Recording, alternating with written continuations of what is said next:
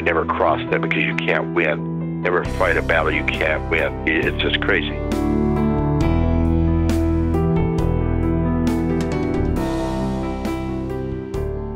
Hey there, thanks for coming by. This is Whistlekick Martial Arts Radio, and I am Jeremy Lesniak, your fortunate host, the founder of Whistlekick Martial Arts. And today, I'm joined by Kyoshi Jim King. Man, we get into some good stuff. If you're new to the show, you might want to head on over to whistlekickmartialartsradio.com. Check out the show notes, links, bios, 317 other episodes, all available for free.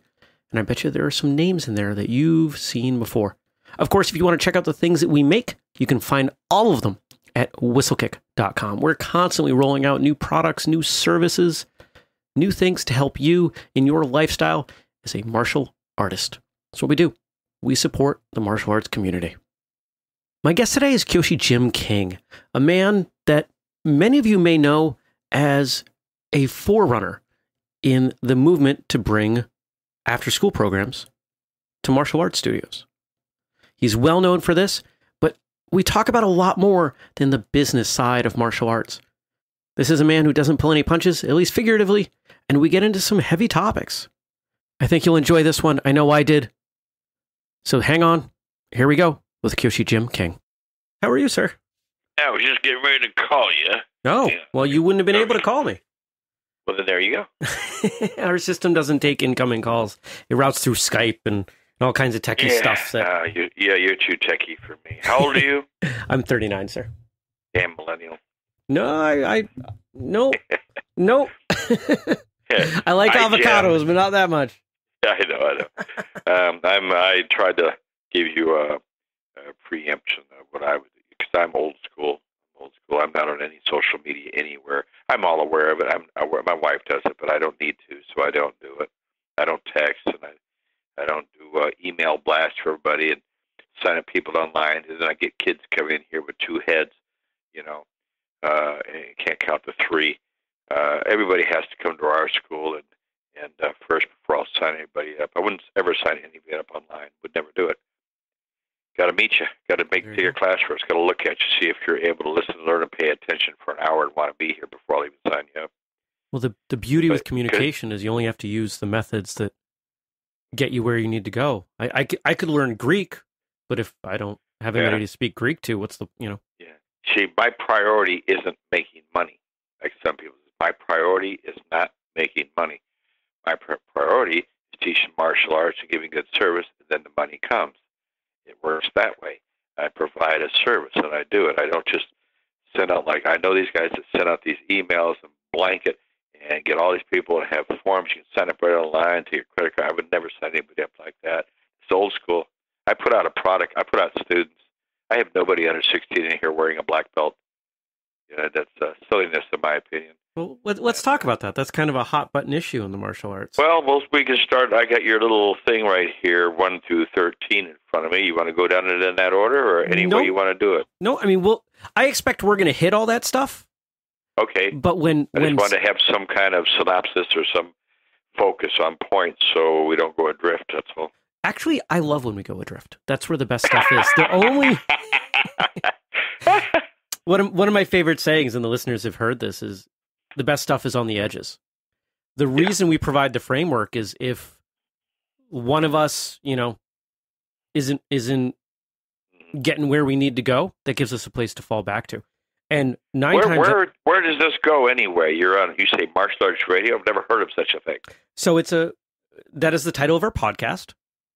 Okay. I've never seen a podcast, but go ahead. Um, so we post it on our website, and it goes on YouTube, and it just it kind of Yes, I've never been on. I don't go on YouTube, and I don't go on uh, any. I've never taken a picture of my hamburger and put it on, upload it, and show everybody what I got that you don't got. And when we go to dinner with uh, guests of mine, and I go with a doctor and a dentist and his wife and my wife, and we go to dinner. It's just no phones, no phones. Don't bring your phones. Don't bring your phones into my restaurant. We're going to a restaurant. Leave them in your car. Mine's at home because I have no calls I need to make while I'm at dinner tonight. I don't need to take a picture of my lobster. I don't need to do it. and you think I'm kidding? I'm no, I don't think you're attack. kidding. I, I completely understand, and it's what I'm laughing at is the If I'm going to dinner, I don't want your phone out at my dinner place. I'm Right. sorry. No, no, for an no. hour and a half. Let's have a conversation like adults. What's funny about it to me is that because it's been such a slow creep, there are plenty of people who aren't going to see it that way. But if you really, if you take a step back, if you think about it in the context of even 10 years ago, that's exactly what it would have been. It would have been so bizarre for someone to, I mean, nobody ever brought, you know, a film camera to dinner and took a picture of their meal. But you know what? Here's 10 years ago, it was rude.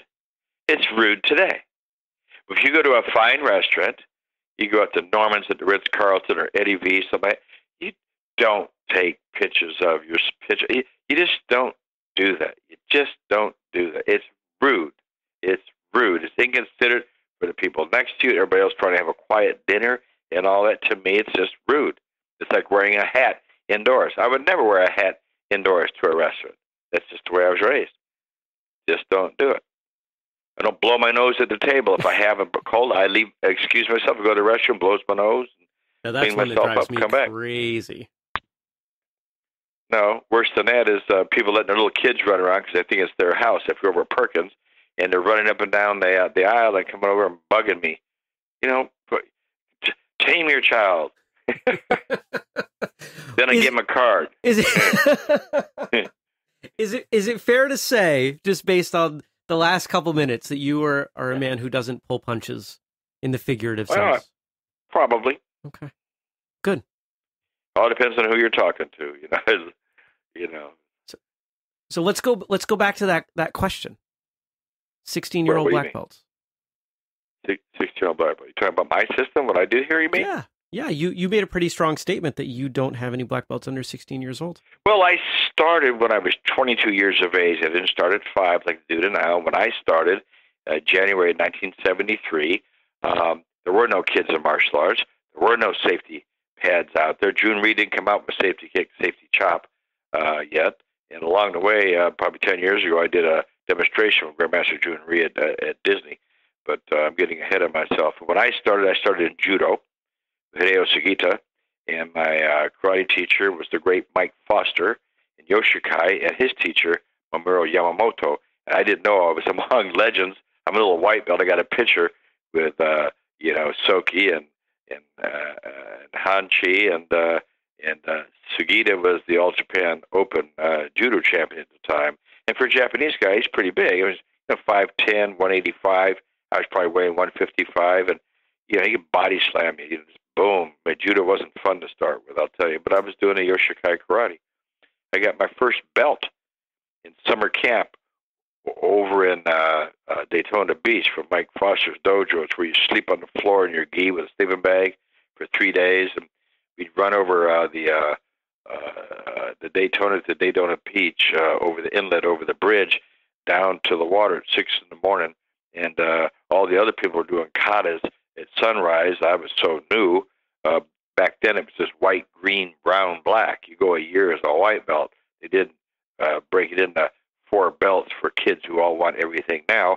You just go forever. So we were knee deep in the ocean fighting uh, people. I beat five guys in a row, and because I had a chip on my shoulder, and Mike Foster, uh, he's a fighter. He, he Kata's great with him. He just wants you to fight.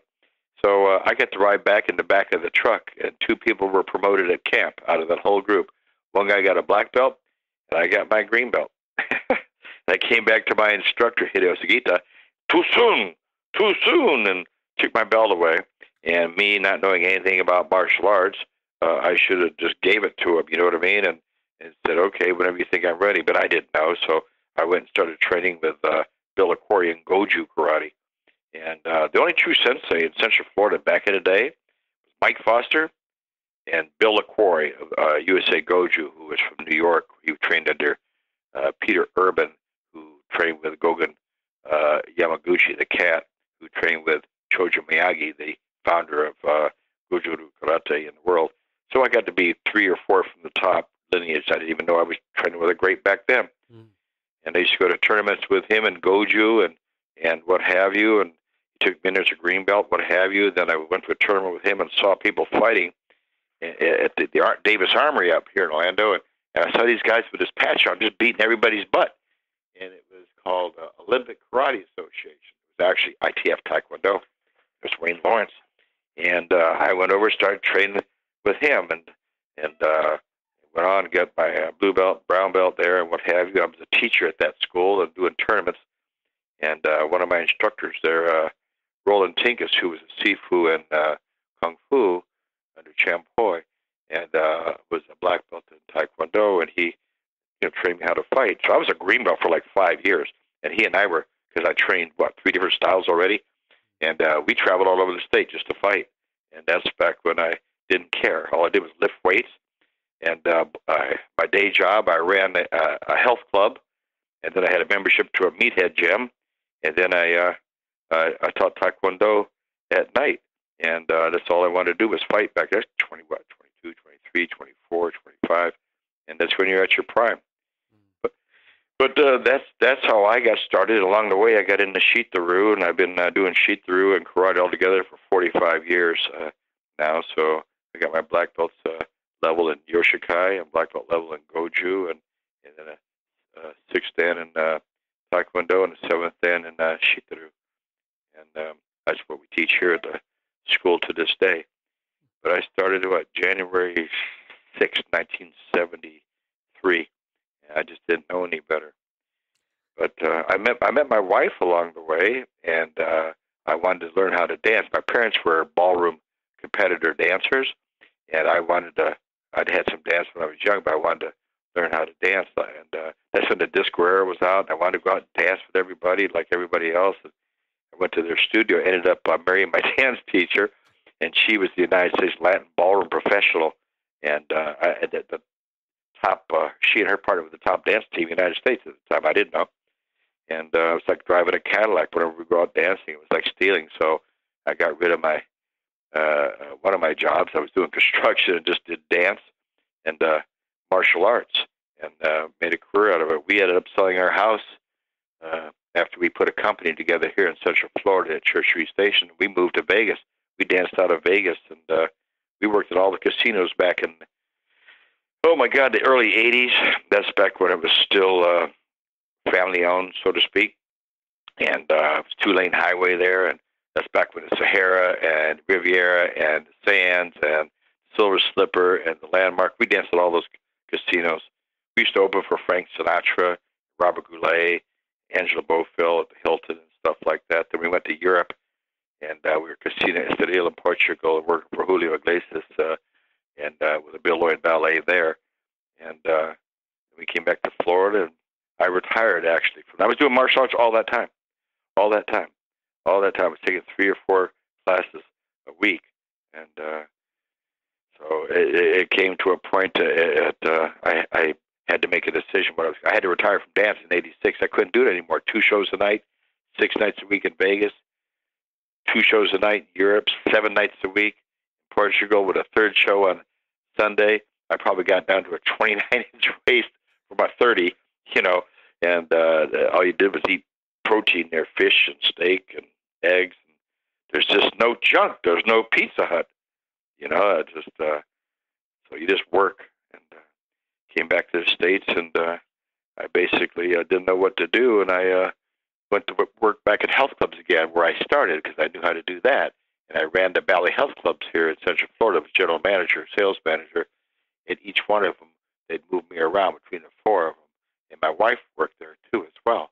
And uh, I actually taught her uh, karate, and she taught me dance. And I was still going to karate four days a week, taking classes. And I shook hands and quit on six figures. I just got tired. I made it to the top at Bally, and I, I just didn't want to be there anymore. So uh, I love doing martial arts. And I sold everything I had, both my cars, my motorcycle, my boat, and bought one car, a new one, and we carpooled, took a second mortgage on my house, and built out a karate school, and we're still here to this day and uh, I got a, a 7,000 square foot. Uh, well, we have a 15,000 square foot building, but I have a, a 7,000 square feet up front as our our school. But uh, my wife got into martial arts. She teaches, and she's a third degree black belt as well. She didn't get into it for the rank or what have you, but she competed here in Florida with me because I was a dancer in Vegas. I don't have great uh, martial arts fight uh, stories like all the people I trained with. Uh, I mean, I used to train with Calvin Thomas. He was a NASKA point champion and what have you. And I don't have it because you see, when I'm dancing and got to go on stage, I can't go out there with a broken hand or a broken eye or a broken lip or something. I had to go on. So I would compete in kata and weapons. And uh, when I was in Vegas in 83, 83, 82, 83, I was state champion in weapons and breaking. No, in kata and forms and breaking in 83. So I won the Nevada State Championship there in 83 doing that. And in Florida, I started competing again in, what, 94, 5, 6, 7, 8. I was four times state champion in Florida in forms and weapons. I could go out and just, we're dancing. We're dancing. If I get hurt, we're, we don't work. We don't eat. And uh, so I don't, my fight uh, stories aren't on the tournament floor like Billy Wallace and played golf with him and all the other people that are great fighters out there. I read about them all along. Um, mine were on the street. I was a bouncer along the way at a nightclub, and and uh, all mine ended up either at Denny's at two in the morning after dancing all night. It'd be going to a restaurant in the morning and and, and uh, getting in uh, trouble in there and stuff like that. Where my fights actually, was more reality based martial arts as working in nightclubs. Tell us about that. There there's too many fights. There's just too many fights. There's just too many fights. Uh, when I worked at uh, at this nightclub uh, the, uh, on the trail here in Orlando, the the front room was a Las Vegas showroom, and uh, had a singer and and, and and beautiful girls and the band. I mean, it wasn't naked or anything. It was like a Las Vegas showroom and dinner and what have you. The back was a, a strip bar with pool tables and hardcore, and the bikers ran their girls through there and, and drugs through the back. You can't, you don't cross the bikers. I don't even mention the the gang because I know who they are, and uh, I never cross them because you can't win. Never fight a battle you can't win. It's just crazy. Uh, that's in the book, uh, The Art of War. Come back another day, but you still couldn't come back and beat those bikers. So every time there's a fight jump off, I was always uh, uh, uh, fighting in there and making sure because I knew everybody, I knew these guys, I made sure I was on their side. And then the owner saw me fight, and he hired me to work for a lousy five bucks an hour. I think in '74, I think it was '74, '75, and uh, uh, I just remember there's many fights, two or three a week, but one stands out in my mind uh, where I learned about uh, uh, thinking before you start a fight. I'm in the back room, somebody's flipping uh, bottle caps at the, the the girls while they're up there, and I asked this guy to leave, and he stood up. He's drunk. He's probably weighing uh, 230, 240, looked like Humpty Dumpty, and said, "Oh my God!" And then I grabbed by the arm, said, "Let's go." He snatched it back, took a swing at me. I blocked it. I just put him in a bent over headlock. Uh, you know, I had him bent over from the waist, and I had him in a garrote under his throat. And I'm, this is, there's no kicking, okay, guys. All your taekwondo is useless in a bar. any kind of high kicks or anything. We're talking uh, elbow to elbow, crowded back there. And I'm trying to drag this guy out, and I'm having to wear a sport coat because this is supposed to be a nice uh, uh, uh, club, what have you. I had a flexible athletic sport coat because I then I was a 40 top and a 30 bottom, and I had a pop off tie. I was smart enough on that, but I didn't take my sport coat off before I went in the back, and uh, it was like fighting in a straight jacket. So I got this guy. I'm dragging him to the front door in between people. Everybody's still drinking and partying. They don't care. And then I didn't realize his little brother, which I didn't know at the time, had jumped over from behind and jumped on my back. And I had like this animal on my back, had me in a choker.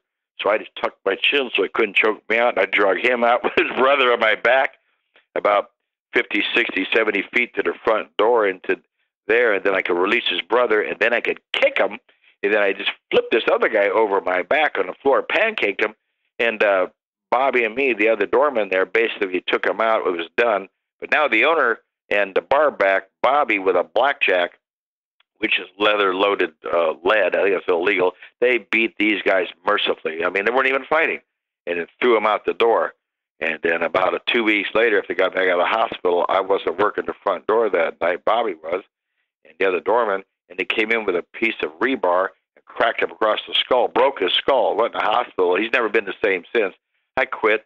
It's not worth five dollars an hour. If we're you hire us to take these guys out, then after we beat them up, and you guys kick them when they're down and stuff like that. That's that's not that's not right. So I quit that job, but I got lots of fights like that. It's crazy like that. Denny's at two in the morning. Uh, it's just crazy. Go there after dancing all night. Uh, we were dressed nice back then. If you remember the old disco days, we were wearing sport coats and pullover shirts, and and uh, I'm at Denny's at uh, maybe one thirty, two o'clock in the morning, and, and uh, we go and that's when people still smoked in the restaurants, but they had special rooms for it. So we started going to the back room. There was this family back there, evidently, which I didn't know at the time. And I walked back in there, and I'm going, I don't smoke. I couldn't breathe. This night eat in here stinks. So evidently, this was a big family, a Hispanic family, and they came all out and all gathered around. And uh, the father, who I thought was an older guy, it, this was older, was in his 40s because I was like what, 27, 28, I don't know. Uh, came up, put his hand in my throat, and threatened me, and all his big sons and what have you right behind him. And I'm thinking I can take this guy out so many ways in one second. But as soon as I do that, I'm jumped. So I pushed him away and did. I punched the guy behind him on the left, punched the guy on the right, and uh, the fight was on. And I'm with another guy in there, and, and and we fought eight guys in that Denny's at two in the morning. And it looks funny on TV where people are throwing things and barroom fights, but those are fake things. Toughest person in that fight was the uh, daughter, and she's yelling in Spanish. She threw a wood high chair at, at us and hit a people sitting down, and then she threw a glass of milk. I mean, that'll scar you. That'll crack your face. And uh, so that was uh, that was a hell of a battle. That the rest of my friends showed up with a black Cadillac out front. There was five sheriff cars coming down Lee Road. They said, "Get out of here!" They threw us back in the Cadillac, and we got and we got away. And I think about three days later, I have a sheriff come to my house. Supposedly, these people made a complaint because I beat a couple of them up really bad or what have you. Really, there were eight of them. There were eight of them, and I went to the police department, swore out a complaint against them, and never went anywhere. But I mean, there's just too many of that crazy stuff back then, and uh, I let it all roll off my back now. No road rage, nothing. Everybody live in harmony and and uh, share a coke. you know, it's uh, you know, I'm I'm I'm lucky to be alive. I was at a pop festival in Celebration of Life in Louisiana in 1969. This is before karate. If I had known any martial arts then, uh, I would have been killed because I, I I'd probably thought I could have done something. Three bikers were asking for my ticket, and we'd snuck into the Celebration of Life, and uh, and I said, "Who are you?" I didn't know they were running ramrod on like the Hell's Angels did in California. This was another group called the Galloping Goose, and uh, and they surrounded us. And uh, he, this guy pulled out a gun, put it right in my head. The other guy sucker punched me, knocked my front teeth out. Threw me in the back of a truck, started driving off to the uh, the thousands of acres back there. And I already knew four people had been killed at that pop festival. I said, "This isn't right." I could smell the beer. I jumped out of the back of that moving truck at about 15, 20 miles an hour and ran back to the 400,000 people were there, and uh, uh, just uh, put myself in a lot of stupid positions growing up. A lot of stupid positions. I'm lucky to be alive. I, I really am. And, and the clubs and nightclubs and stupid stuff. But uh, you know, some people learn late in life and grow up later. But uh, like I said, I didn't start martial arts till I was 22. It's been an anchor for me. I'm I'm I'll be 69 in September. So I'm doing 45, 46 years. I don't know. How do you think your life would have been different if you'd started earlier? You've you've mentioned that a couple times that you started life started martial Uh, arts. it wouldn't later. have started earlier because there was no martial arts around when I was younger. Well, was, let, us pretend there. around. Let's pretend there was. Let's you know. Let's let's take an alternate I- timeline through the It's through hard the to universe. say. Jeremy, it'd be hard to say. I, I can't second guess how it is. I know this. There's a great song. Uh, I forget who does it. God bless the broken road that led me straight to you. You know, our lives all. Uh, I've done a lot of stupid things in my life, and uh, uh, maybe you have too. I don't know, but you know what? Whatever I did led me to my wife, and had anything else been changed, I might not have met Jody. We've been married 40 years. Okay, we've worked together all those years in the karate at Bally. She was uh, division manager. I was general manager, and we were a dance team, an adagio team, a lift team, sort of like you see with uh, the Olympic ice skaters. Okay, that do all the tricks, the pairs, just like that, but without the skates. That's the level we were at, and uh, so I, I wouldn't have met her. And uh, you know, uh, we have this uh, great career because I got no children and and we've been working together for 40 years. I mean, we own everything scot free our home, all our vehicles, our RV, and you know we have investments and what have you. I've actually sold the school that I'm sitting in right now to my operations manager, Chris Mulch, and he's uh, fifth Dan Shihan now under me, and uh, the guy that answered the phone, and uh, he's been with me since he's 11. He's 36, and uh, you know he's got the school. I just uh, keep a, a 400 square foot office in here and work and work my uh, program out of here for martial arts school owners nationwide. Um, I teach in here maybe twice a week to adult classes on Tuesday and Thursday night because I like it. It's hour and a half classes, but uh, I, because I enjoy it, I don't have to. I have seven, eight uh, black belt teachers on staff here, but uh, it's basically uh, Chris's school now. But uh, uh, it's just it was so expensive. I'm order financing it for him. It'll take uh, three more years to pay it off, and I'm making sure that uh, he's able to. Uh, I can wean him and where he can do all this what I do, the marketing and sales and developing uh, uh, people that can take my place here. I haven't taught the kids here in 10, 15 years. We have we run a really large after-school program. That's the actual program I developed uh, here and nationwide, the Transport After-School Martial Arts program. We've been doing that for what since 1991, so about 26, 27 years and that's what I do now. I just enlighten uh, martial art uh, uh, school owners that call me every day from all over the state. I've had 1,500 people, 1,500 school owners that I know of throughout the United States, Canada, United Kingdom.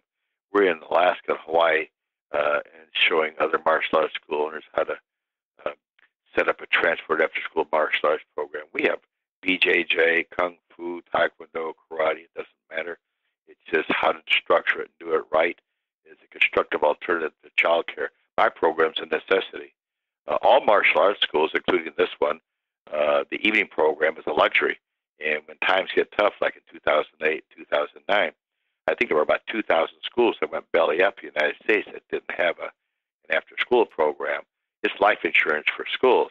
So even if you're laid off, if you're if is working or what have you, and you're looking for a job, your kids are still going to school and need a place to go after school, your uh, options are extended day of school in the cafeteria, throwing spoons, uh, daycare with little ones with diapers. Uh, you got an eight, ten year old boy in there with his little ones, or uh, babysitting at home or latchkey. Uh, so uh, if you weren't, uh, if you hadn't lost your job uh, completely, you still were working, your kids still had to be somewhere after school. It's life insurance for school owners, and that's why I'm so successful financially. Is is run a big school program here. I mean, we've run as high as 172 kids in our after school program here. But uh, uh, we have seven vehicles. We own our own transportation company, and I use outside professional drivers, uh, Orange County, Seminole County school drivers instead of my staff. My staff are black belts are teachers. My drivers are drivers. My operations manager manages the school. So everybody's good at what they do.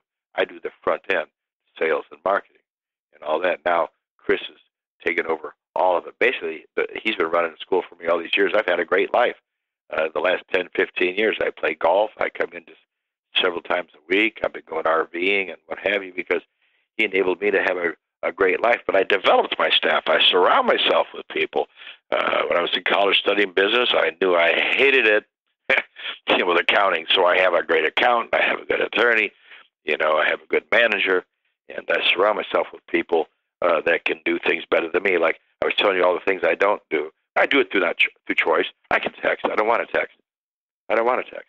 It's just crazy. It's like going back in time to the Flintstones with a little bird pecking out a thing on a tablet applying it to. Why not pick up the frickin' phone? It's sad. I got people that email me, how much is your after school program? Send me prices that stuff. What? Excuse me. Uh, dear Anonymous, please simply pick up the phone and call me I'd be happy to help you. I'll tell you features, benefits, and price right over the phone.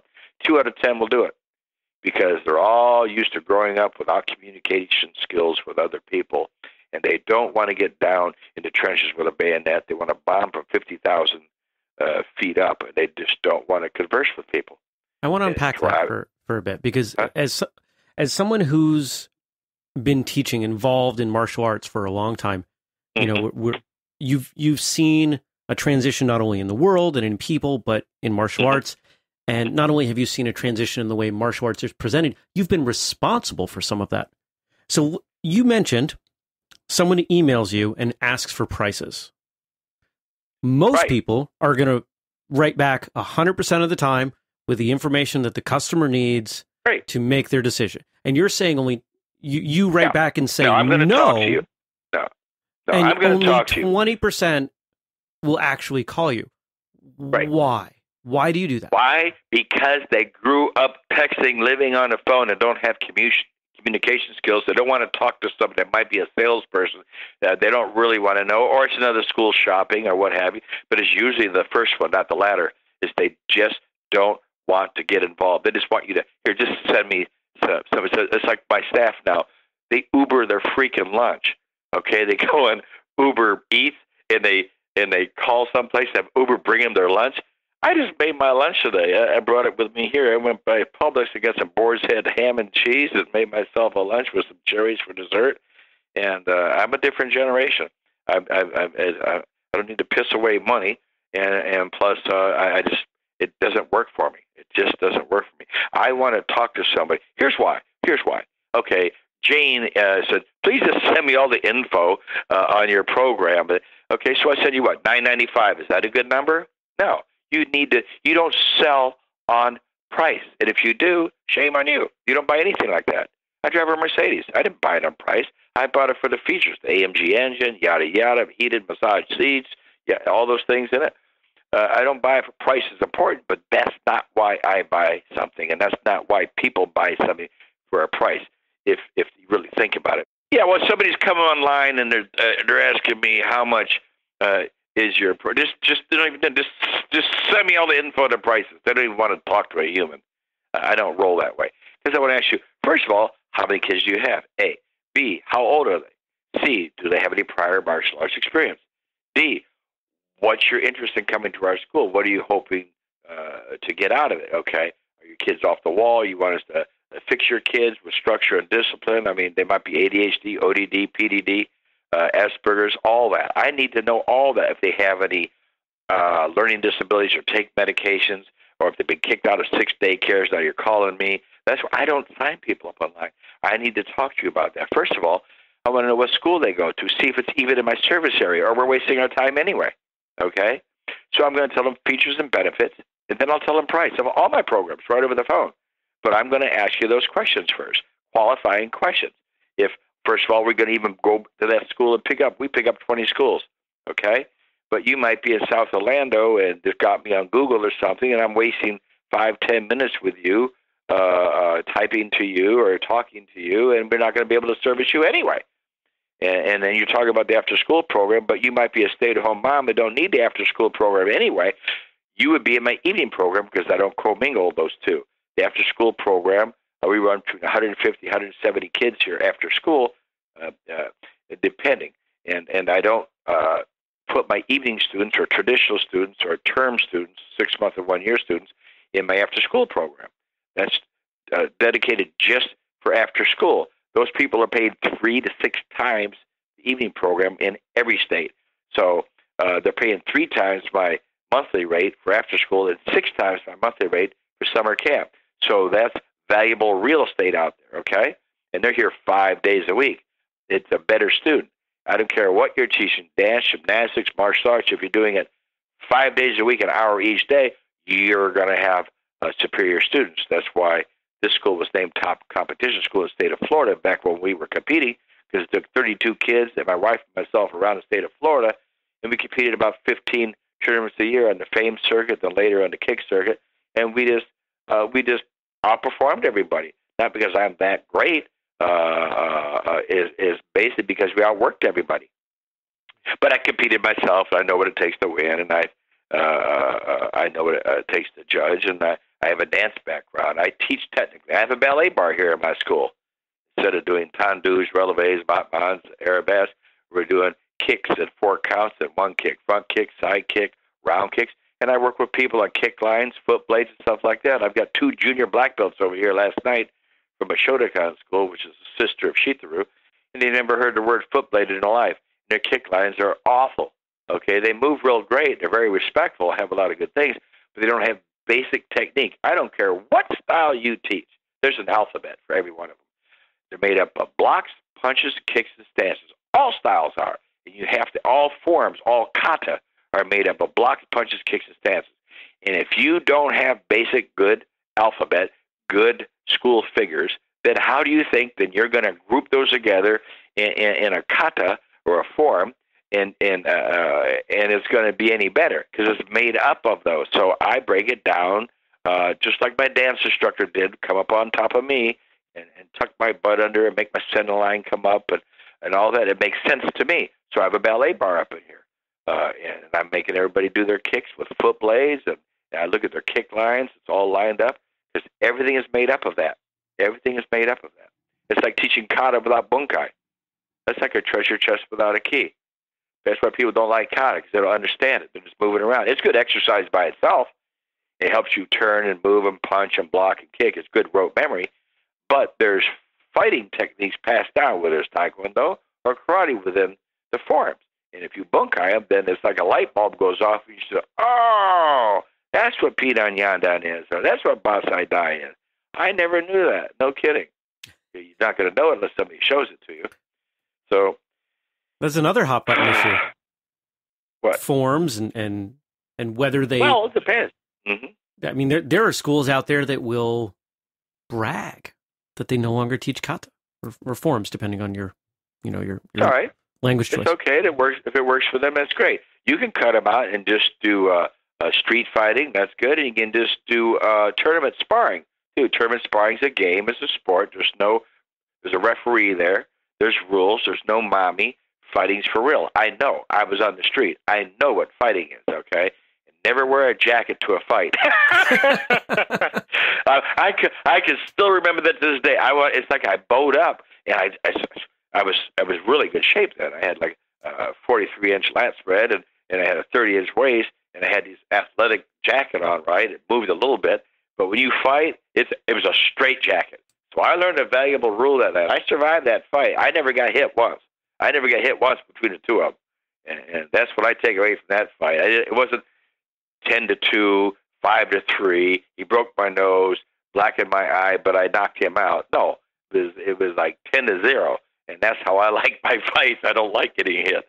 Uh, I've been clawed, and I've been maced, but I, I I I never got beat up other than that time at gunpoint in Louisiana. but I mean, I hear click click, or I look at him, but I get sucker punched right in the mouth. You know, wow. but. uh did that incident? But forms, with... forms, forms are good exercise. First of all, okay, you can look at them just by themselves. It's just uh, like jumping jacks. Right? If you do forms, oh, you do each form three times, three times, do each form, and move on. There's 52 kata in Shito-ryu karate. I only do 35 of them myself. But uh, the trick to it is to take fighting techniques out of those kata. That's bunkai. That's the application. If you're teaching that, then it makes sense to your student. If you're not, it doesn't make sense. And the reason a lot of people don't do forms anymore is because that teacher never learned bunkai. Their teacher never taught them the application of those forms. To them, it's like dance. And if you're just doing movement, that's dance. And I was a professional dancer for nine years. Okay, I know what that is. We had a dance company here, and we traveled and performed everywhere. Dancing is great, but if you're doing kata like that, you're dancing. If you're not showing applications, uh, what these moves are, then you're dancing. And what happens is when you do take the time to learn it yourself and then teach it to your students, you actually teach them the kata. You don't know a kata until you can, one, know where it originated, who formulated it, okay, and what the interpretation is uh, in, in, from Japanese to English or from Korean to English, what it means, okay, and where it was formulated. And two, you got to be able to perform it, perform it well. And number three, you need to be able to break it down and teach the bunkai the application of those moves, or you never really learn the kata. You're dancing. And that's nothing wrong with that. So if the guys I think that are dropping it is because they don't understand it themselves and don't know the application and don't know how to teach it, so they just knock it out. They just want to fight. So they skip. It's okay. Just skip them and go straight to fighting. That's okay. Just teach sparring drills and fighting drills. There's nothing wrong with that at all. I used to uh, kind of put my nose up because I'm a traditionalist at the at the uh, extreme martial arts. Uh, I call it exhibition martial arts and all that. But you know what? It, they're very, very talented, and, and, and I watch people do that, and, and the musical kata, the musical forms. It's not what I do, but I really appreciate the talent and skills and the athleticism in it. I know Mike Chat and uh, Uh, I've seen it, and I really appreciate. it. I have a whole different view on it these days, and I, I've watched them do weapons and all that. I'm a traditionalist. I tell people go online, look at the World Championships in in uh, Paris, like 2012, 13, 14. 15. Look look at what wins there. Look at the Japanese female kata team, and, and when they'll do a group kata. And if that doesn't turn you on, then I think you're in the wrong sport. And then watch them do the bunkai at the end of their kata. If that doesn't amaze you, then then karate is not for you. It just isn't. Uh, I, I watch them do weapons. When I teach, I was state champion weapons. I every move I do with my bow, every move I do with my tonfa has bunkai, has application. We do bow, tonfa side, nunchaku, and kama knife in the school, and we do bow to bow kumite, we do bow to tonfa kumite, we do bow to side kumite. All the block strikes, all are done. We break it down and teach it. Now it makes sense. It's real application. If you just spit in your bow like a baton twirler and all that, I'm just going to do a lunge and jab you right in the throat with my bow while you're spitting yours like a baton twirler. But I look at the athleticism and the ability of being able to spin a bow like that and do all those things. They can obviously do the basics with it too, but we we're in the block, parry, strike. We we waste no movement. Every movement we do has application. So uh, that's just how my take on it. And I like to see the traditional martial arts done at the highest level. And I always tell people, look at the world championships. Get on your your YouTube and what have you, and and, and look at it at, in, in Paris and, and watch how those people do uh, forms. Watch your traditionalists fight. You still do hook kicks to the head and, and, and jump spinning back kicks. We still all do all that too. So Hmm. but I appreciate uh, uh, the extreme martial arts and, and all that as well. It's just if that's uh, your way to get into martial arts, uh, that's wonderful. If that's what turns you on, that's great. And anybody that can do that advanced uh, type of forms, what have you, could uh, learn how to do the traditional stuff, or maybe learn all the traditional stuff first, and then took off to another level. It's all good. It's an interesting time because we have so many options, so many different styles, so many different Yeah. ways of them being presented. And what I appreciate, wasn't around when I started. There was wasn't sure, around. sure. Well, actually, I want my to circle back to wasn't Mike Chat wasn't born. I want to come. I want to come back to to some of your experience coming up because there was something you mentioned that was really different than what I've experienced. But I want to come back. But one of the things that I appreciate in what you're saying is that you're articulating this is not my way. It's not what I want to do, but I see the value in it. for me. It's not what I'm putting on you or Absolutely. your other people. What works for you is great. That Okay? is not just like in the movies. Just like in the movies. When I watch uh, old movies, we all grew up watching Bruce Lee or David Carradine and Kung Fu. Or if you're old enough, you go back to Our Man Flint with uh, James Coburn, where you do a little karate chop, come up behind the back guy, just a little chop in the back, and the next fight was over. I said, "Wow, that's so cool!" That's before we even knew what karate was. No, I grew up uh, and all that stuff. But um, uh, when I watch uh, those old movies, and then when I grew up and got older and started and taking it myself and looking at it, it, a lot of it's just silliness. When I watch those old fights from Enter the Dragon and Fist of Fury, you and when you, you're kicking, as old as I am, if I kick you in the head, Jeremy, you're going unconscious, my friend. Okay? if I elbow you in the head, you're going out. Okay? I'm to kick you 16 times in the head like Bruce Lee did. Hook kick, rock kick, hook, round, hook, round, hook. Silliness. Kentucky Fried Movie did a great parody on it where he's uh, a guy playing Bruce Lee beats up, you know, like starts beating up all these black belts running at him, starts stacking them like cordwood. They're like 10 feet high, and then he hits a tank and cuts the tank in two. You know, that's my take on that. Uh, but I, I appreciate what he did for martial arts, but the movies made him into bigger than life than what he was. But that brought it all to a lot of us that got us involved in martial arts. That or David Carradine, who really wasn't in uh, martial arts. I met him in Las Vegas. It was David Chow doing all his fight scenes. Uh, but uh, that got us involved in it, whatever it takes to get you involved in it. But uh, what I look at a fight scene, I'm looking back some of the stuff that I appreciated. Uh, one of them was was a crouching dragon, hidden tiger, or vice Crouching versa. Tiger, Hidden Dragon. Yep. I couldn't watch that movie. I watched a few. I says, you know, I can't watch fake. I'm sorry, I can't do it. I can't teach. I made I put out a hundred state champions, national champions, junior Olympic champions, but I never could teach my people to run up a wall and jump off a building or sway from trees to tops them and fight people with swords. I said, this is absolutely obnoxious, ludicrous. Even though I won, I think I won the the uh, Oscar. I think I said I can't watch that. I watched a fight scene in one of the Steven Seagal's fights back in the day when uh, when he was a little bit lighter and younger, and uh, uh, it's just he was coming out of a bar fighting these guys, and I, I think it was Screwface or whatever, and he just does a a little 45 degree side kick, which I teach my white belts going to yellow belt to the knee, and that the fight was over. The guy said, "You broke my effing leg! You broke my effing leg!" He just walks by him. He just bam, bam, two hits. The choreography was great because it was slap, hit, bang, you're done. But it's not six minute fight to the death and everybody's hitting each other 19 times in the head. You know, the fights just don't go there. I like reality.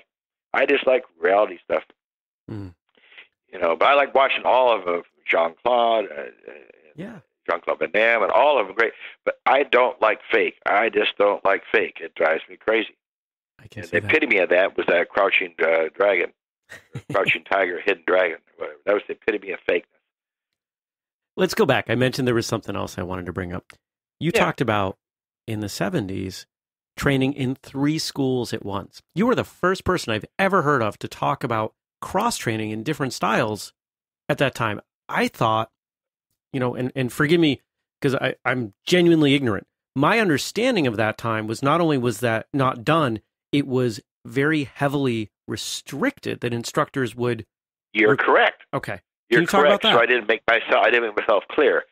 I finished at one school. This is the back I got out of my house at 18, 19. I was working I worked my own way through college. I bought my own car. There was no college fund. My dad said go down the street, turn right, get a job. So I've worked since I was 13. I bought a motorcycle when I was 14 and drove it to school and had a job. I've always worked all my life. Nothing was ever given to me. So uh, uh, uh when I was in uh, uh, driving uh, uh, to college, where I'd move. I'd live in an apartment on one part of Orlando, then I'd move to another apartment in part of Orlando, and I, I'm working in the health club industry back then, and going to college at night, and I'm carrying like I think 12 hours and working about 60 hours a week, and uh, trying to get ahead. Um, so I had limited time, and so uh, the, the the the Goju school was on South Waters Blossom Trail, okay, and then uh, the Taekwondo school was in the Colonial Plaza Mall, and uh, so I didn't, I wasn't training at the same time in those schools. I I trained with Hideo Sugita for a while, and left Yoshukai, and then I went uh, to Goju. I was with Bill LaQuarrie for a while back in, my God, what, 76. I was back with him, I think, again in 86. Uh, but uh, uh, I tr- I wasn't tr- at two different schools at the same time at any time. I was 100% at one school at a time and 100% at another school at a time. And for years, I was with the uh, uh, uh, Wayne Lawrence and uh, Roland Tingus with the Olympic Karate. They had three schools. They were teaching uh, ITF Taekwondo, and uh, I, we only went to open tournaments. We there was no Koreans in town. There was no bibs. There was no you can't punch the head. In Florida, I don't know if you know this uh, because of our age difference. Uh, in Florida, I think Texas too. Groin was a point. You get kicked to the groin, my friend. Okay, i heard that. That's a point. You didn't drop kick him, you know. You just drop. You just do a snap kick in there. You get that point, or it makes your hand go down if you're a man. And you just back fist him in the head. Okay, we were in a Taekwondo school, but and when we did our forearms, we did the high youngs, Chunji, Tonglen, Tosan, Wanyo, what have you. But when we fought, it was just open karate tournament rules. Okay, most of us didn't wear pants; they were they were just coming out, and most of us didn't do that. We wore, I wore a shit and instep, you know, little cloth pullover shit instep, a cup, and a mouth guard, and put white adhesive tape around my knuckles. And you could throw a round kick at Rollins College on the gymnasium floor. You could catch that round kick, sweep the supporting leg, drop them, and bounce them off that hardwood floor, and follow up with one second with a point, with a punch you get a, a point for the sweep and a point for the punch. And groin was a point. And yes, you can punch to the face. We didn't go to any of the uh, uh, uh, Taekwondo tournaments. I'd never even heard of a Taekwondo tournament back then. There were no uh, uh, Koreans in town. There was no WTF. We were ITF, International Taekwondo Federation. But uh, I didn't know any better. I didn't know any better. I, like I said, I'm learning, and uh, and I had good fighters. They were the best fighters the best fighters in Central Florida came out of Olympic karate. Oliver, Robbie Gooch, and used to win the the uh, uh, and Ben Parker and Roland Tinkus and and all the people, all winning at the U.S. Open, the Open tournament here in Orlando every year. These are fighters that are proven on the circuit, and uh, so I wanted to fight like them. My best fighting was back then, but I wasn't uh, uh, having to go on stage uh, and, and worried about fighting. I, I had to curtail my fighting experience along the way as my wife and I became successful, and that became our career. I I couldn't get uh, as it was at my brown belt test. I did a spinning back kick, and this guy named Norm, I know his last name, he uh, he scooted in and just did a reverse punch, a tate ski to my kidney, and uh, uh, I continued fighting that day, but it stung like a bee. Okay, not like a normal punch.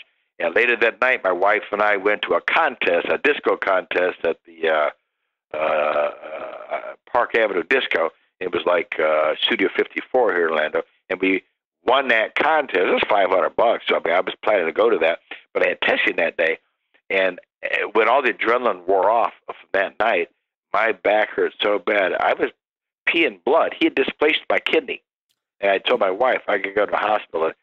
She always saw me getting banged up, getting cut, and getting stitches and all this stuff.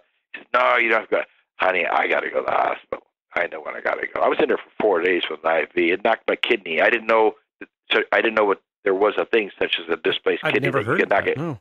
I'd never heard of it either. You can knock your kidney. There's a little sack your kidney sits in, and you can knock it out.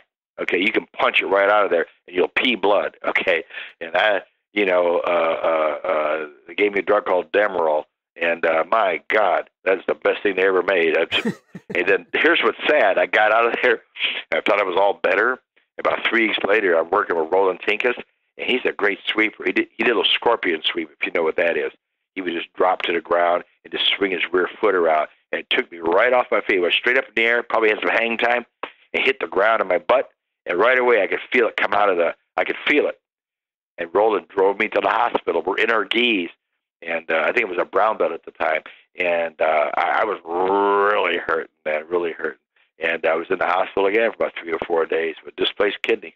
Nobody even hit me that time. He just swept me, and uh, I had I'm telling you, I had hang time. I landed on my butt, and that kidney came right out of that socket again. So. Uh, Let's talk a bit more about the after school program. You know, we, we've we've heard we've heard a ton about you today, and, and you know this this was a lot of fun because you made my job easy. I just got to stand back and listen to you. well, But- that's what you wanted, so that's what we did. that's right. That's right. Just hey, get out of the way, right? Let, let, you do let you do your thing, and, and you did. And Well, I read your form here, and it kind of basically went over some of the things over you, that- you ticked almost all of the boxes. It was great. Yeah. love it. But now, As you know, as reading books, the only thing I ever read was the Tao of G. Kodobo. I used to read black. We used to read Black Belt magazine growing up. You probably did too, and probably Kung Fu. Illustrated. Any, anything about karate, but it was all magazines. There weren't many books out back then that we knew about. Just magazines.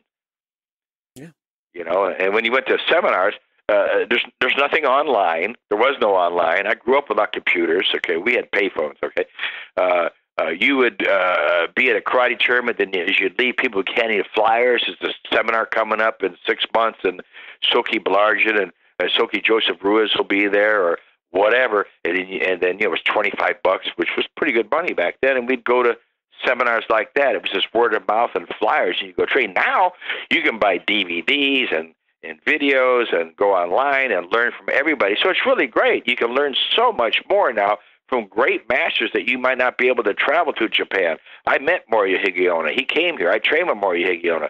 But uh, uh, and some some great karate masters in the day, and and and Shogo Kuniba, uh, who was I would love to train with. Now he died in '92. His son Kozo Kuniba, Soke, came here to this school uh, several times from Japan. I flew him over, and he ranked me and all my black belts and made us jump through the hoops.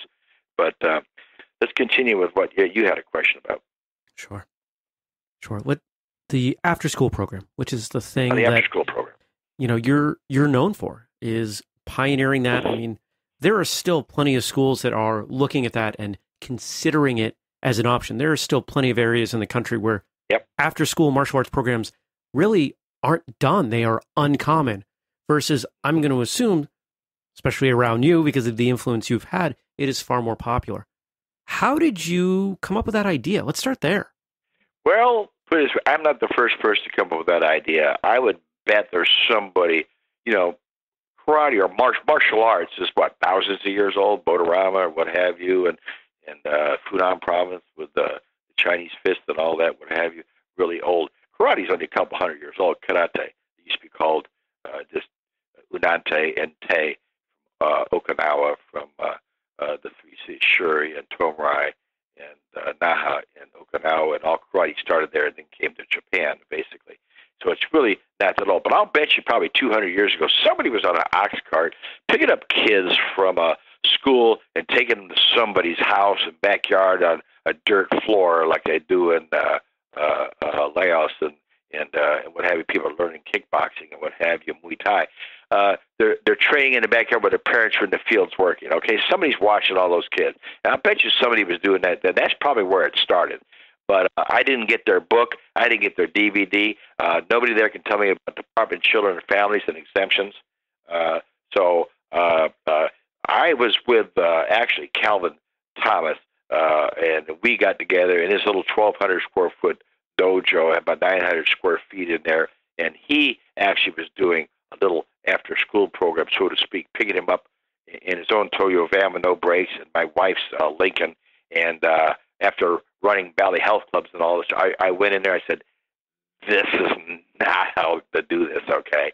And within a month, I had 33 uh, uh, uh, kids in there. The place was full, and then we moved and we opened uh, another place, 5,000 square feet. That we had a business divorce, and uh, I, I'm not in the partners and what have you, and I don't believe he is either. But uh, it was a mutual business divorce, and I went my way. So he kind of had a, he just basically just picked up kids after school in his vehicle. There was no program to get or any way to do it. And back then, there was nothing. Is 1990, 1991, and uh, uh, back then I was the only guy around actually doing things professionally. Uh, just before I even wrote my first book, uh, I I used to in my first book I said, "He who has the higher ladder wins." I used to put my my after school signs on telephone poles, and this before I learned about code enforcement but I because of Bally, we used to have lead boxes. Now, lead boxes only work if you have a sales team and they're not allowed to have any front end traffic. They're not allowed to take walk ins. They're not allowed to answer the phone. They have to make and develop their own uh, infos and referrals and what have you. That's what lead boxes are for. They're big, they're obtrusive, they get them in places. I have brochure racks in 30 businesses. I have brochure racks in uh, uh, over 20 schools. Okay, I'm business partners for all the schools. Okay, and I'm on their daycare provider list. Uh, my signs at their school. I, I'm in their school newspaper. Uh, so I, I'm in the schools. Well, I, I run on seven turbocharged cylinders because I am not on Facebook. I just read in MA Success magazine it was either 87 or 89 percent of all schools advertise on Facebook. I'm not. I'm very successful. I'm where the piranha feed. I'm at the schools. So when you come in, uh, the school, you walk in the office, my brochure rack's there. If you ask for a daycare provider list, what do they have after school other than their extended day? I'm number one on it. Okay. If they have a school newspaper or PTA newsletter, I buy advertising in it. On the way out, if the school permits, I have my sign on the way out of the school. So that's the King Five right there. I have all that, but uh, well, I don't have any uh, objection to being on Facebook, and we're going to do it as well too. I just have never gotten to it.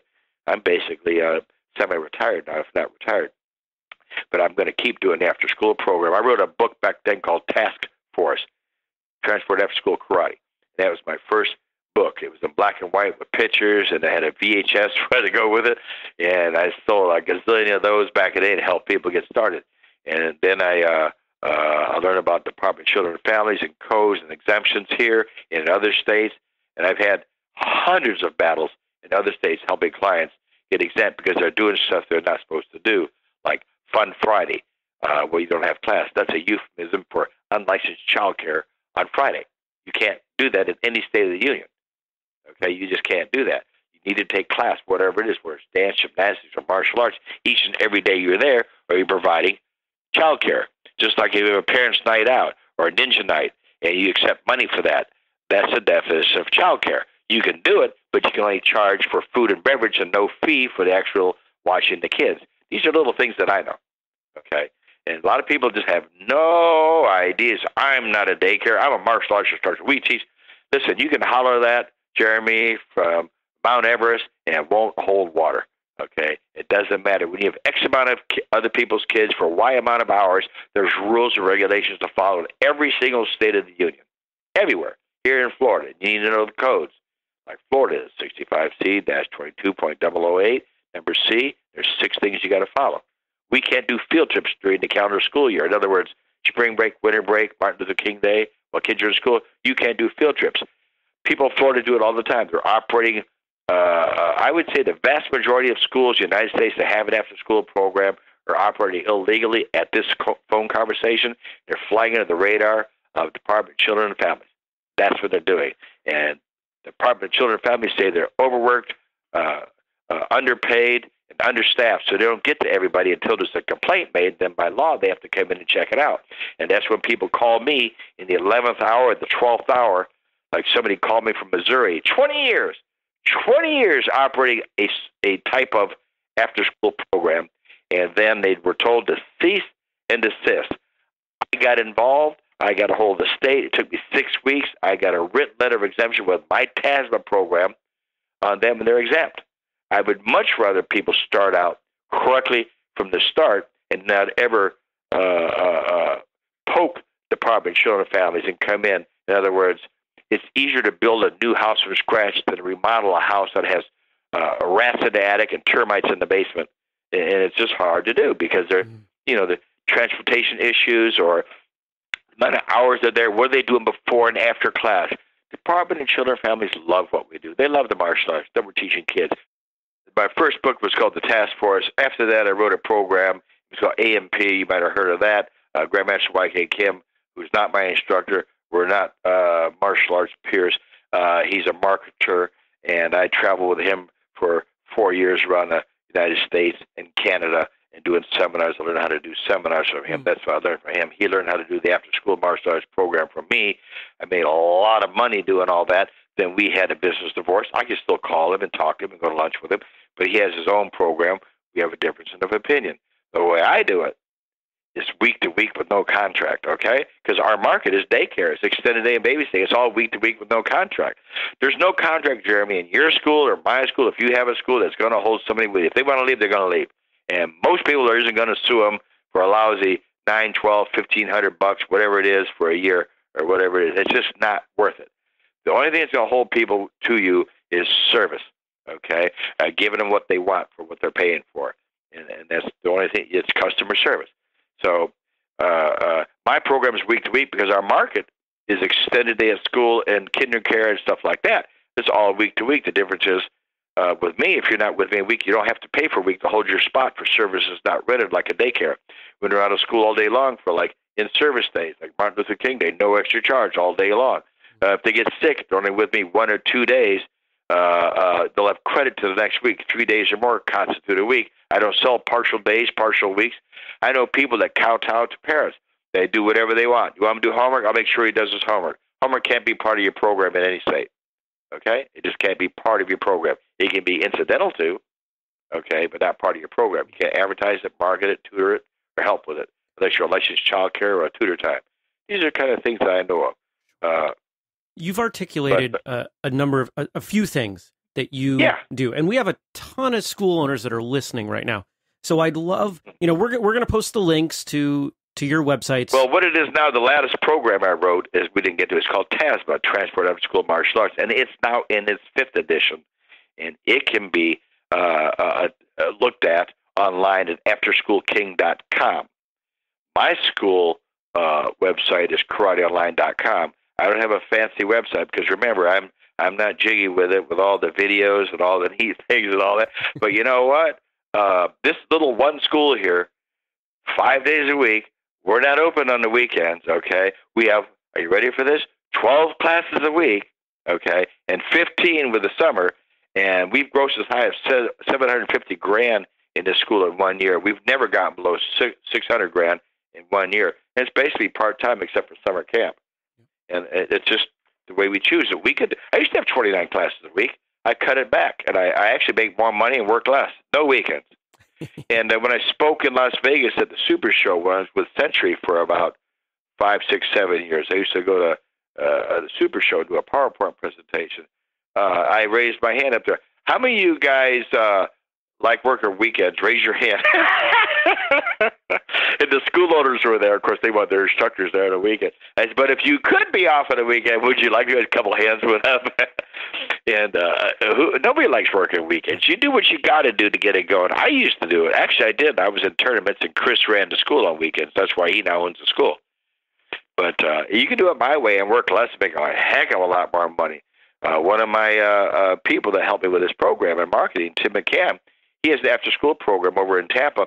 He works from 2:30 to 6:30. All he does is after school, no weekends, no evening classes, nothing. He makes a great living. His whole family works there. So you can do it in it. You can put just 25 kids extra into your program, make another hundred grand a year, or you can make your program big like mine. Most people are 75% traditional, 25% after school. I'm just the opposite. I'm 75% uh, TASMA and 25% uh, evening students. I only have about 100 evening students, about you know 75 uh, kids at six and about 25 uh, adults at seven. So, because I never promoted it, the money isn't there. If you're going to be a miner, if you're going to go dig, you can dig for coal, copper, silver, gold. I'd dig for diamonds. Yeah. I'd go to South Africa if I was going to be a miner. Might as well. All right, so we're going to drop those links at, at the show notes, whistlekickmartialartsradio.com for anybody listening that might be new to the show. And if, you know, I, I think it's pretty clear, at least it is to me, if you have a martial arts school and you're not at least considering an after school program, here's a good time to think about it. We've talked a lot about that today. You've got some resources. It's life insurance, online. Jeremy. It's life insurance. It just is. And it was proven in 2008, 2009. The people that had after school programs stayed open. The people that did bellied up unless you had a really, really big school, you know, and cut back. So, you know, we all had to tighten. I had to tighten up here. I have a big after school program. I believe it. I mean, I got down to like 90 kids in after school program. I was at 150, 160. So, you know, if you only had 15 after school, you might have bellied up anyway. So, I'm just saying, it's that's that's where the future martial arts is. It's it's a transported after. A lot of people have after school, but they don't have a transported after school martial arts program where you go get the kids or have your service go get the kids. We outsourced for 16 years to a transportation company. They worked for me exclusively for me. Then I bought the company. I have my own transportation company. I keep it separate from my uh, my S corp. It's a separate LLC for liability and uh, for other reasons. It's the way to do it to separate church from state. And I don't want my instructors or me out stuff. I used to. I did it. I did everything. But uh, I have professional drivers now. And once you get to the level where I'm at, uh, and you do it professionally, I try to start people out from the start being professional, separate church from state. Uh, if you can, use outside drivers uh, instead of your staff. If you can, try to keep everything completely uh, uh, separate. Keep your instructors as instructors and your managers as managers and your drivers as drivers. But it, it, you can do it different ways. I, I've done it different ways myself. I even used my wife's uh, Lincoln back in the day in 1991. But we have four school buses and three 15 passenger vans Wow. we have outside drivers. We use six of those vehicles, keep one in the rears for a breakdown, and then we use six outside professional drivers. There you go. So nobody here is out schlepping kids. And when you have a large amount of kids being dropped off, somebody has to be on the floor, right? That's right. When they get right, and my kids are never out of control ever. I've had people come over here, martial arts, and look, they couldn't believe how controlled it is. I can't believe that you think that that's something because what are your kids doing? You know, how can our kids aren't allowed to talk in the bus or the van. They're never out of their seats. They can whisper. If they hear you, if the bus driver hears you, there's going to be writing. Okay, that's the way it is. I have a, a, a what you call like hall monitors. We call them snitches. on the bus, they let me, and they let me know who did what. And they all know you can't do that. You, all my my buses have seatbelts. My vans have seatbelts. If you use buses in the private sector, let everybody know you got to have seatbelts. That's federal law. Even if the school doesn't do it, if you do it in private practice, you have seatbelts on your buses and seatbelts on your vans. And kids are not allowed to get out of their seats and go to one seat to another, throw things, get up or down, climb under or over the seats. My kids are very well trained and disciplined. That's the uh, beauty of this is at your point of enrollment and everything is we do a 30, 45 minute orientation with parents so they know what our policies and procedures are, our parent responsibilities are, and what the kids are. We talk with the kids. We have an orientation with our children. Here's how we're going to act. Here's how we're not going to act before we go on a field trip, before we pick you up. All that is discussed. Everybody knows. And you just train them. That's what we do. We train. I have a dog that's usually sitting on my desk here, okay, a little chihuahua. He's mm-hmm. trained. If I can train a dog with a goody, uh, I could train a five year old kid. Theoretically, they're smarter than my chihuahua. So uh, we do real well with children. We can take a hundred plus kids to the bowling alley, and people turn around because you know what? You can hear your heartbeat. There's not a word. Mm. They all walk in, line up against the back wall with my instructors, and when they go up to get their shoes, five at a time, please and thank you. Now, when you're bowling, you can be a kid, but when we're coming there and leaving, it's absolutely quiet. Absolutely. People can't believe how we do it. I can't believe that they can't believe that we train children. That's what we do. I've got the only brochure rack in the bowling alley from an outside entity because one, we bring him a lot of money, and two, he loves how we train the children. You bring that many kids in there, they're not out of control. He had two women in there. Well, it could have been two men. It's not a sexist remark, but there were two women in there with about 17 kids from a daycare, completely out of control because they're not paid to train them. They're paid to give back a live child at six o'clock with sand in their shoes. That's the definition of extended day or daycare. Hmm. You've shared a lot of great stuff today, and I and I appreciate that. Just uh, my my head is almost reeling, and this is one oh, of those episodes. So I think don't don't apologize. It's great. I suspect this is one of those episodes that I'm going to get feedback from people. I had to listen to it twice or three. Well, you're times. talking to an old person that's been around. I'm you know 69. You know, yeah, you, you know some stuff. But I've, I've been I've, around. I met, I met a lot. I met everybody in the martial arts. Everybody. I've had you know breakfast and lunch with Chuck Norris. I played golf with Bill Wallace. I met Joe Lewis. Pictures on the wall here. I was uh, hanging out with him in uh, Las Vegas. You know, when you get old, you get to meet everybody. But I go back to a lot of people. People that know martial arts know who Mike Foster is, and Yamamoto, and and yeah. the Quarry, and and and those kind of people. Uh, back in the day when I was in Vegas, I got to train with Osamu Ozawa, the first uh, uh, highest ranking Occidental in the United States in Shotokan. I used to sneak out of the Taekwondo dojang I was at over there and go train with him. And uh, then they started. I was at the very first tournament. It was at the Riviera Hotel. That's the uh, Ozawa Championship. That was big time in Vegas. The Ozawa Championship's big time. I was at the very first one. And uh, Kenny Blanch and I think Nasty Anderson was there. And, and, uh, uh, so you know, I, I, when you're old, you get to know a lot of these people, but they're, they're all dropping like flies now. He's gone too. So yeah. Well, already, my. I, I want to ask you one more thing, just one last yes, little bit. Parting words, words of wisdom, whatever you want to call it. Send us out with something of a high note.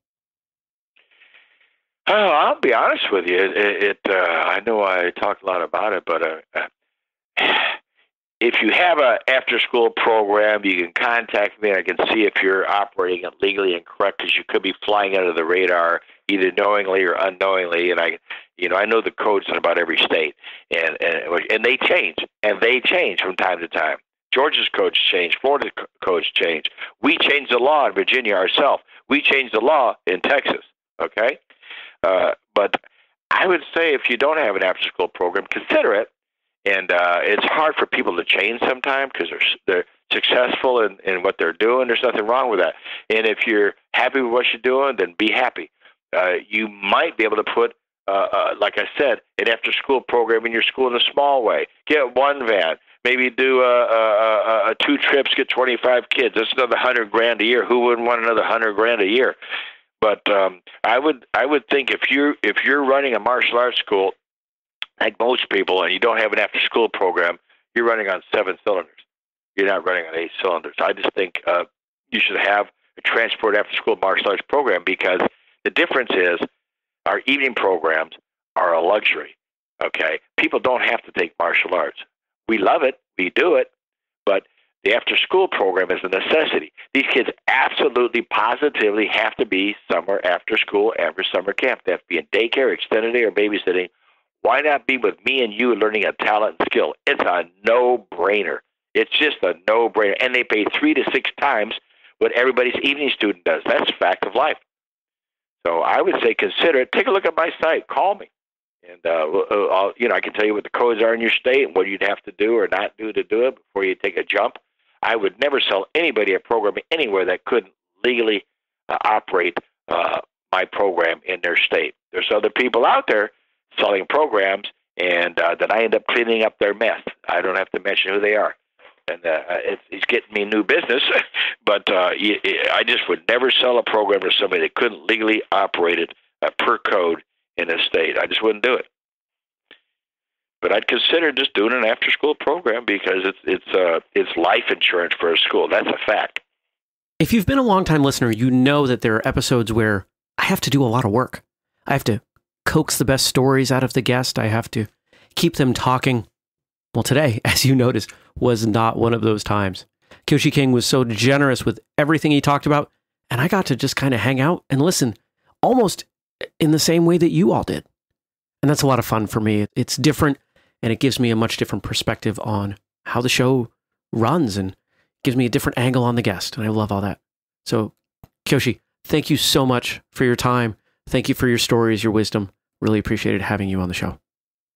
If you want to find the show notes with links to the things that we talked about, Kyoshi King's school, his after school program information, all of that, you can find it at whistlekickmartialartsradio.com.